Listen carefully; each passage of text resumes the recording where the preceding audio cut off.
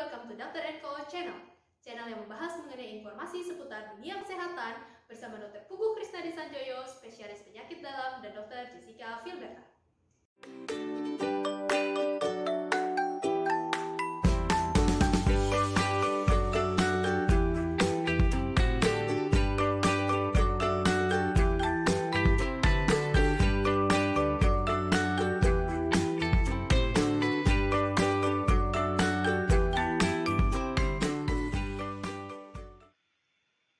Untuk topik bahasan kali ini adalah dislipidemia atau sering dikenal dengan nama hiperkolesterol atau hipertrigliserid dengan tujuh topik bahasan yang akan kami ulas secara rinci satu persatu.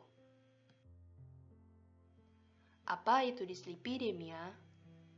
Dislipidemia adalah kelainan metabolisme lemak yang ditandai dengan peningkatan atau penurunan kadar fraksi lemak dalam plasma. Kelainan fraksi lemak yang utama adalah kenaikan kadar kolesterol total, kenaikan kadar kolesterol LDL, kenaikan kadar trigliserid, dan atau penurunan kadar kolesterol HDL. Apa saja penyebab dislipidemia? Dislipidemia disebut primer jika disebabkan karena faktor genetik, dan disebut sekunder apabila terjadi akibat suatu penyakit lain seperti hipotiroidisme, diabetes, sindroma metabolik, dan sebagainya. Termasuk ke dalam kategori apa kadar lemak saya? Berikut adalah klasifikasi kadar lemak plasma, yaitu untuk kolesterol total disebut diinginkan jika kurang dari 200.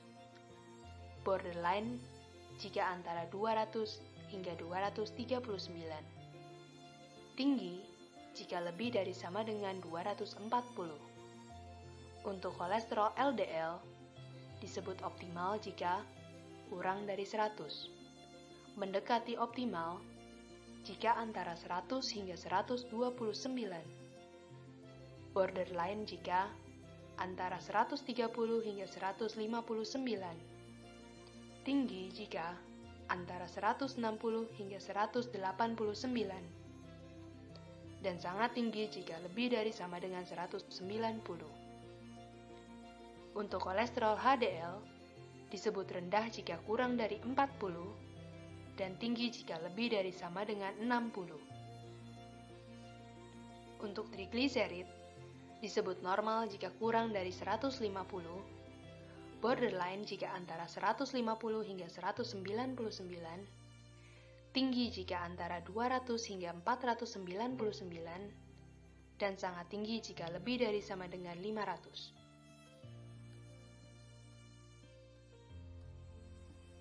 Berapa banyak orang yang memiliki dislipidemia? Berdasarkan data dari Riset Kesehatan Dasar atau Riskesdas tahun 2018, berikut adalah data kadar kolesterol total, kolesterol LDL, dan trigliserid pada penduduk umur lebih dari sama dengan 15 tahun berdasarkan pemeriksaan darah.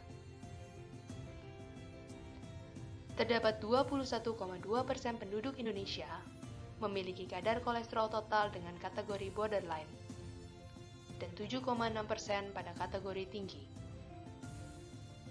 Terdapat 36,5% penduduk Indonesia memiliki kolesterol LDL pada kategori near optimal, 24,9% borderline, 9% tinggi, 3,4% sangat tinggi. Dan terdapat 13,3% penduduk Indonesia memiliki kadar trigliserid pada kategori borderline 13,8% tinggi dan 0,8% sangat tinggi. Obat anti lemak apa yang sering direkomendasikan? Berikut adalah obat anti lemak yang sering dikonsumsi oleh masyarakat seperti simvastatin, atorvastatin, rosuvastatin, gemfibrosil, fenovibrat, serta obat kombinasi seperti atozet dan vitorin. Golongan statin merupakan pilihan utama dalam pengobatan hiperkolesterolemia dan hipertrigliseridemia. Vibrat hanya direkomendasikan sebagai terapi lini pertama pada pasien dengan kadar trigliserid lebih dari 500. Terapi Vibrat juga bermanfaat untuk pencegahan penyakit kardiovaskuler pada pasien dengan rasio trigliserid dengan HDL tinggi, di mana trigliserid lebih dari sama dengan 200 dan HDL kurang dari 40.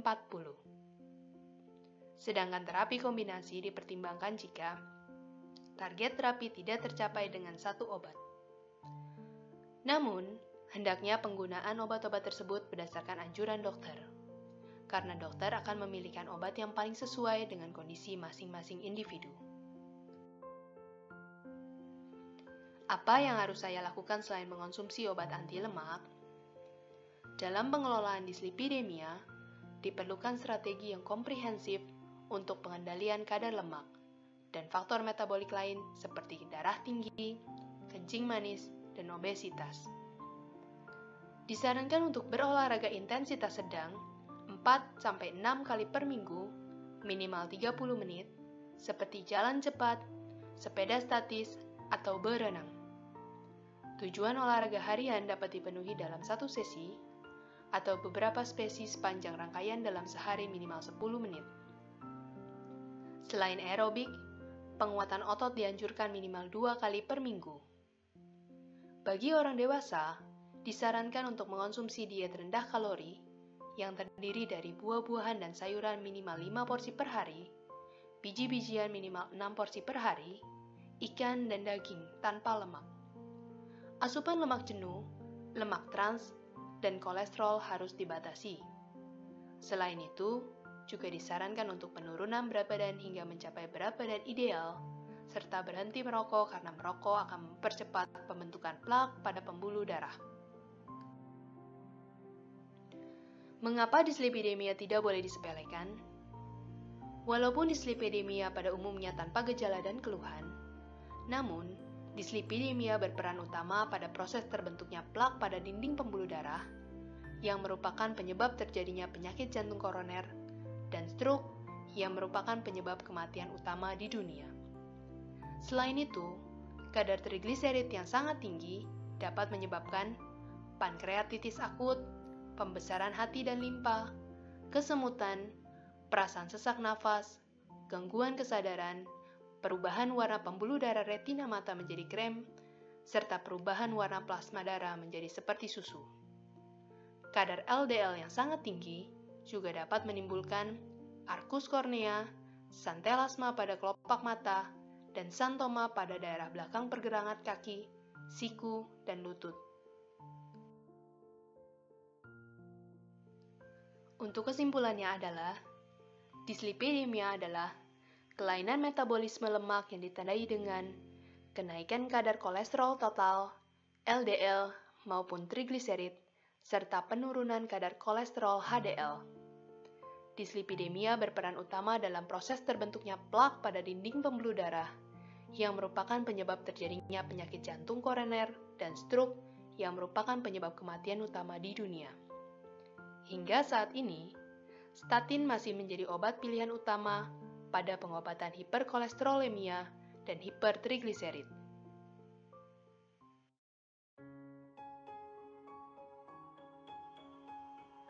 Berikut adalah Tiga pertanyaan yang paling sering ditanyakan seputar dislipidemia.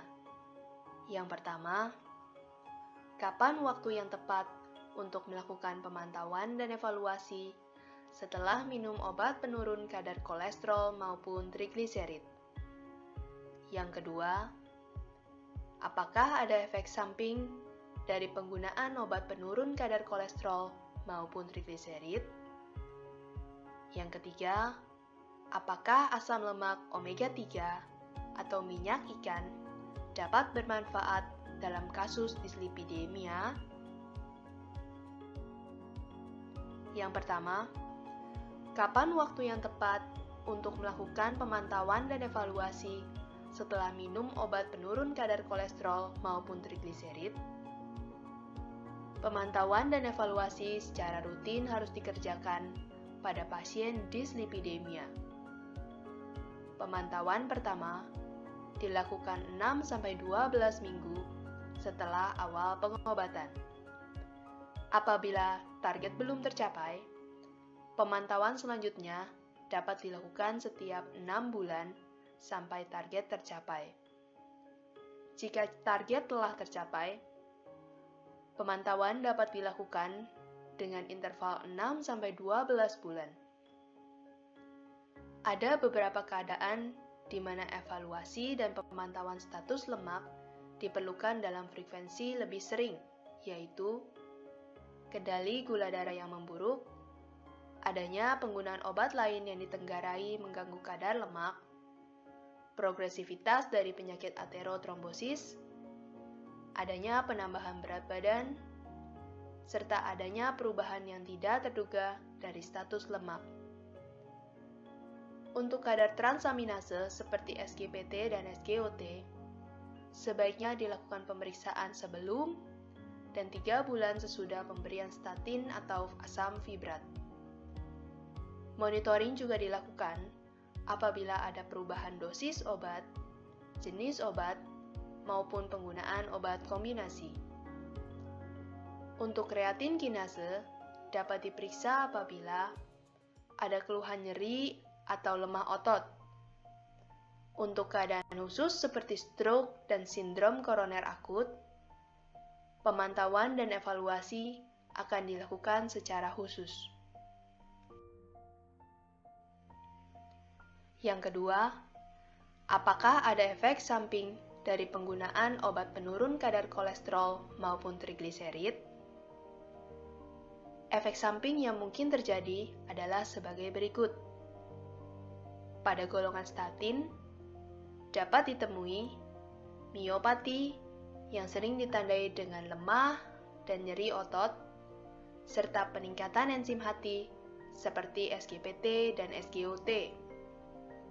Pada golongan fibrat, dapat ditemui dispepsia atau rasa tidak nyaman pada perut bagian atas, batu empedu, dan miopati. Untuk golongan ezetimibe, pada umumnya dapat ditoleransi oleh pasien.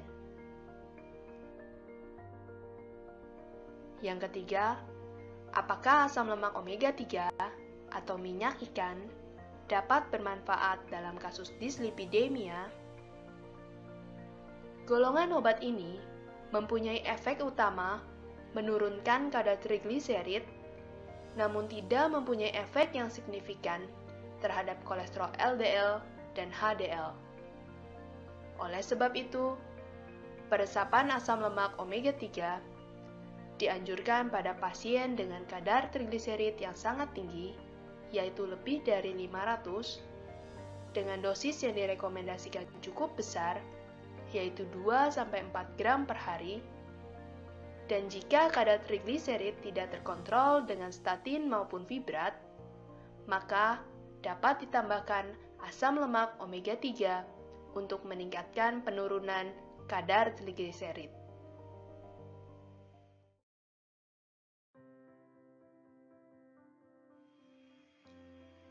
Dan untuk current issue pada topik dislipidemia mengangkat tema tentang hiperkolesterolemia dan penyakit jantung pembuluh darah, fokus pada kelompok dengan risiko sangat tinggi dan ekstrim yang diambil dari jurnal Elsevier tahun 2020.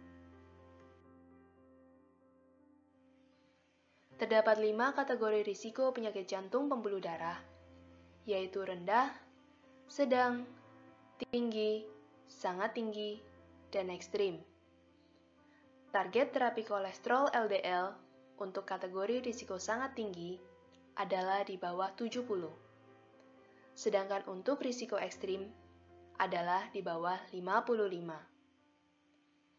Akan tetapi, banyak pasien yang masih gagal untuk mencapai target tersebut hanya dengan satu jenis obat, yaitu golongan statin.